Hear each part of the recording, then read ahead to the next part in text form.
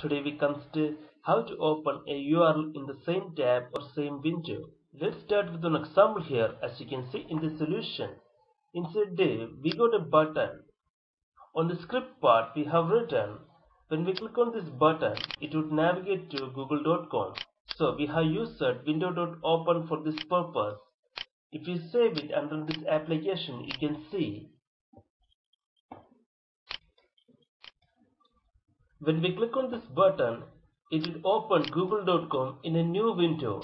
It's not opening on the same window. So here we consider how to open a new link on the same window or same tab. For doing that, inside script part, inside window.open, you can say it should open on the same tab.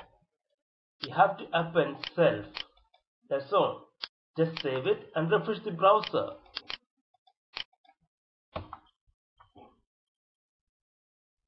Yeah, when we click on this button, it open google.com on the same window. Yes.